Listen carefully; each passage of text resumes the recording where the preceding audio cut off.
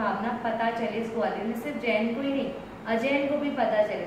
तो अनिश भैया से मैंने सिर्फ़ ऐसे बोला कि भैया, मैं चाहती हूँ कि भक्ताम्बा जी का एक अपन कार्यक्रम करें। तो भैया ने बोला, ठीक है। और ये ही वो व्यक्ति हैं जिन्होंने मुझे आज स्टैंड किया भक्ताम्बा जी के लिए इतना ज़्यादा बड़े लेवल पर पहुँचाया।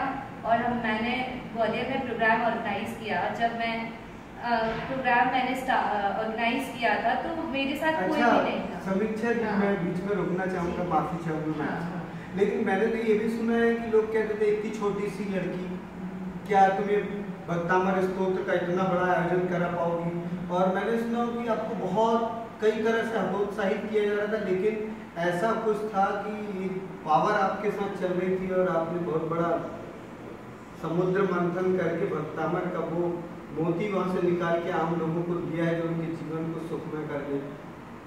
आप कुछ बोलना चाहेंगे? छोटा और बड़ा नहीं होता है, आत्मा कोई छोटी और बड़ी नहीं होती है।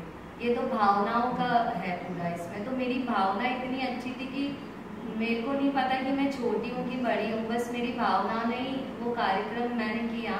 और जब मेरे को लोग बोलते थे कि चैलेंज करते थे कि तुम इतनी भीड़ कर ही नहीं सकती, तुम्हारा डे गलत है, सब कुछ गलत है लेकिन मुझे आदिनाथ भगवान की आवाज़ आती थी कि भगवान का कार्य है, वो सफल होगा। मैं आगे बढ़ती चली गई इक्यावन मंदिर में मैं गई और मुझे हर मंदिर से एक अच्छे लोग मिलते जाते थे। इस तरीके से चली मैं अकेली थी, बाद में मेरे को इतना बड़ा सपोर्ट मिला, एक समाज, नहीं, एक परिवार का सपोर्ट मुझे मिला। और सभी के सपोर्ट की वजह से ही मैंने ग्वालियर में इतना अच्छा कार्यक्रम किया, इतना सफल रहा और मैं हर दिन भगवान से प्रोग्राम के पहले एक ही प्रार्थना करती थी कि भगवान, जो भक्ताम्बा जी पे मुझे श्रद्धा है, विश्वास है, वो मैं लोगों को कैसे दिखाऊँ? मेरी बात पे कैसे विश्वास करेंगे लोग? एक चमत्कार दिखाओ। तो आदिनाथ भगवान ने वो चमत्कार दिखाया कि मेरी जीजू जिन्होंने मेरे को इंस्पायर किया था भक्ताम्बा जी के लिए, उनका तीन साल रुका हुआ प्रमोशन मेरे प्रोग्राम के बीच में ढाई बजे ही हुआ था। उनका बॉस खुद चल के आया था और वो डिप्टी मैनेजर बने हैं आज।